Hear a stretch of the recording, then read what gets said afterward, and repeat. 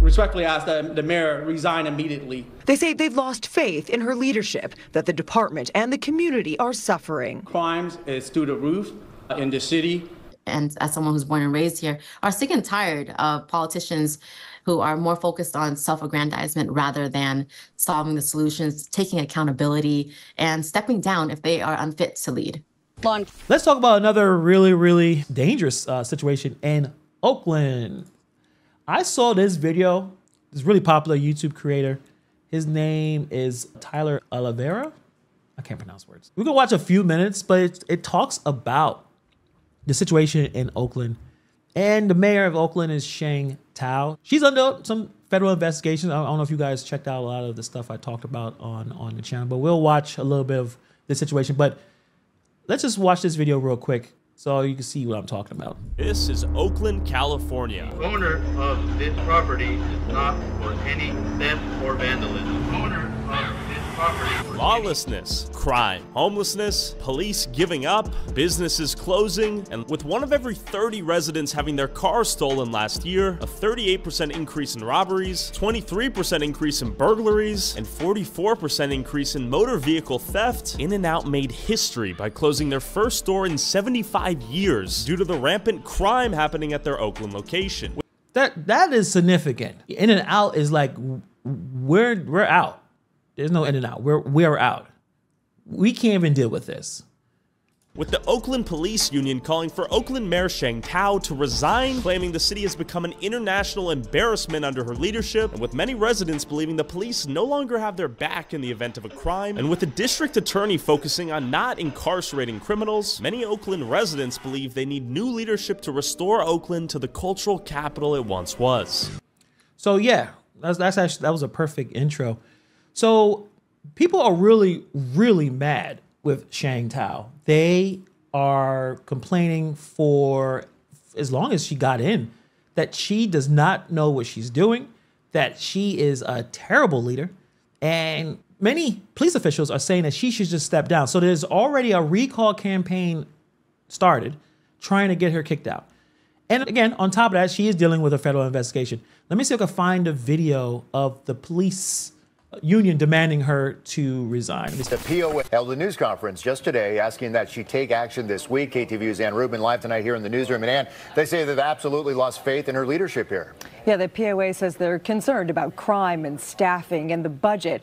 But Mayor Thao says she's worried about those same things and they'd be better off working together.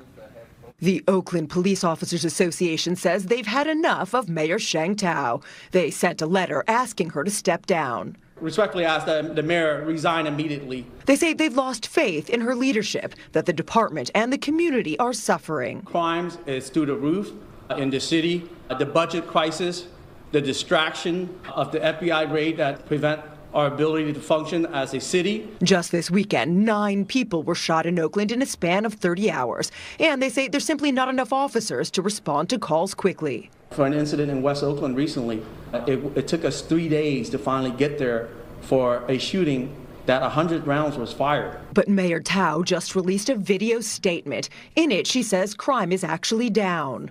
It's really unfortunate that the OPOA is obviously playing politics. Right now, during this very sensitive time, we need to come together. We see that what we are working on in regards to the comprehensive approach for public safety is working. She adds her budget prioritized public safety, funded new police academies, and saved 80 police jobs. The POA says it's just not enough. This is a time to invest more into the city, hire more police officers, retain the police officers, and fix the crime issue.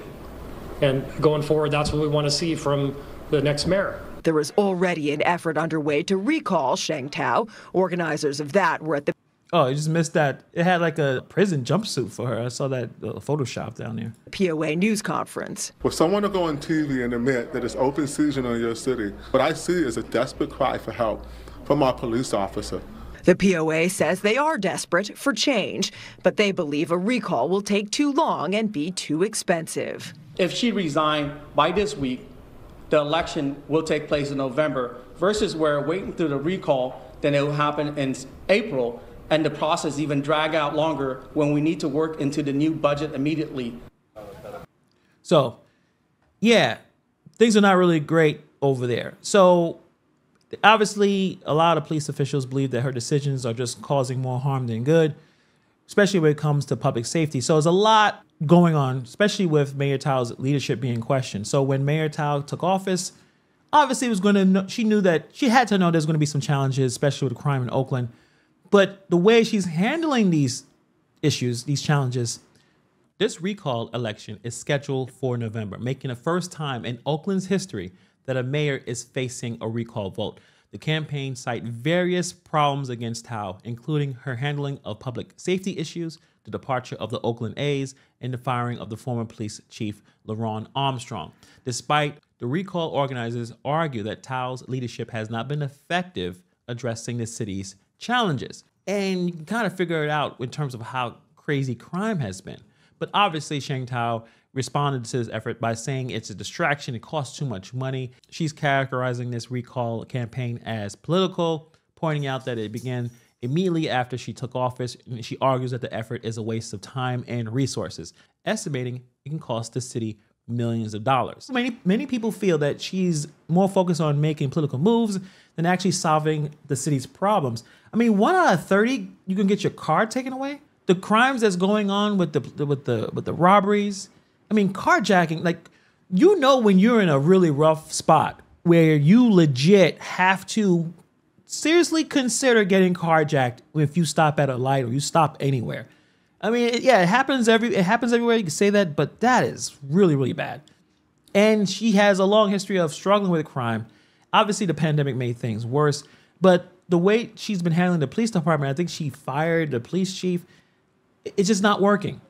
And more people are, are upset because of this federal investigation that she's going through. It's a cliche, but the silence is deafening following the unprecedented action taken in Oakland by the FBI, the IRS, and the Postal Service. ABC 7 News broke this story with our Lena Howland, the first to report on the raids yesterday. She's joining us live, live from the mayor's house. Lena? Kumasi, we have been trying repeatedly to get a hold of Oakland Mayor Sheng Thao for three days. First for the recall and then for the FBI raid of her home right here behind me. But still, no response.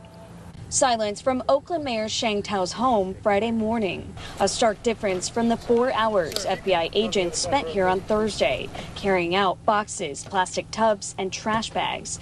Despite a car registered to Thao sitting out front, there has been no sign of the mayor. Our public officials are elected to protect and serve our communities, to be held accountable to represent the interests of everyday constituents. And yet, like you mentioned, our leadership is nowhere to be found, and more often or so, dodging questions. Jennifer Tran is an ethnic studies professor at Cal State East Bay. She's also the president of the Oakland Vietnamese Chamber of Commerce and is running for Congress. She calls this investigation a distraction from other serious issues in the city, including the Juneteenth shooting at Lake Merritt. 15 people were shot.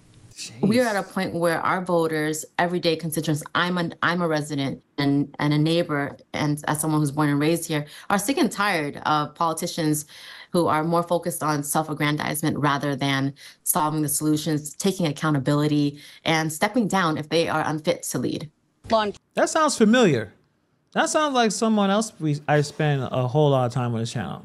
That sounds very familiar with what she just described. Enforcement sources tell ABC7 this is a public corruption case with the FBI, IRS, and U.S. Postal Service working together. And it comes only days after the effort to recall Thao was approved to be on the November's ballot. Experts in recalls and resignation was, is saying that it's going to be very difficult for her to regain the trust of the public given the erosion of trust leading up to this point in the last year and a half. The city of Oakland issuing a statement Friday morning saying under the city charter, the city administrator is responsible for the day to day administrative and fiscal operations of the city under the policy guidance of the office of the mayor. In his capacity as city. I want, I want to. Sh- I want to show you exactly why she's being investigated by the feds. Let me see if they actually talk about that. The FBI investigation is exploring potential illegal activities such as money laundering, misuse of campaign donations, and other unethical practices related to the city's contracts and political contributions. Another significant aspect under scrutiny is the relationship between Thao her partner Andre Jones and the Duong family. Allegations include the Duong's involvement into a scheme to funnel money through straw donations to influence political outcomes in city contracts. So there's a lot of corruption. I think it's over here. Yeah, these people. of Oakland. The house belongs to Andy Duong. He is listed as director at California Waste Solutions, a recycling company that serves Oakland. Meanwhile, U.S. postal inspectors collected evidence at a nearby house that belongs to David Duong, Andy's father, who's listed as the CEO of California Waste Solutions. The Duong's family business, California Waste Solutions, released this statement. It reads California Waste Solutions is fully aware that federal agents executed search warrants at a number of locations in Oakland and related to the company is fully cooperating with the government's investigation and is confident that government officials will conclude that CWS was not involved in any unlawful or improper activities. So the problem is with that is California Waste Solutions is a company that spends a lot of money lobbying. They've they they donated to many many politicians, and it's a federal investigation is looking into allegations of corruption and misuse of funds within Thao's administration. So basically, they've been pumping money into her administration for kickbacks, for contracts. All I understand that politics, it seems like this is normal, right? Like we're pointing out because they're getting caught, either they're incompetent or not able to hide it, or it just becomes so big that it's impossible to hide it. I understand this happens often, but the problem is when you have incompetence, you're not doing your job really well, crime is not down, people are getting their, cars broken into, people are, you know, businesses, a lot of small businesses are complaining about how Thao has has made things difficult. Dealing with the budget, cutting back with cutting back police. It's, it, it gets to a point like, damn, it, all right, you're gonna do this kickback and do all these crazy things, but can you at least fix what's going on in the city? Can you at least fix that before you do the corrupt stuff? You can't be corrupt and be bad at your job. Like it's just too much for the citizens to deal with. I think someone said it's like little Chicago, but Oakland is really, really, really in trouble. And if you have someone who don't know what they're doing and they're corrupt, it's just too much. It's just too much. So she's not going to step down. They're going to have to recall her. The recall campaign is going to cost a lot of money because it's it's kind of similar to another campaign, but I guess in another direction. The campaign to kick someone out. Money has to been spent, donations, all that type of thing. It go, it's going to cost the city millions of dollars to kick her out of office. I mean, at this point, I think a lot of people want her to step down. It's not just citizens, it's the police department, even police officials, community members believe that her leadership isn't working and change is needed to get the city back on track. So Oakland Oakland's problems are numerous. Obviously, just getting rid of the mayor is not going to necessarily fix everything. The city has deep rooted issues and going to need more than just a new person in charge. But at the same time, the fact that so many people, especially people in the police department, are unhappy with Mayor Thao shows that something drastically needs to change. I mean, hopefully something does change, you know. Well, we'll see. We'll see. We'll keep we'll keep a track on that.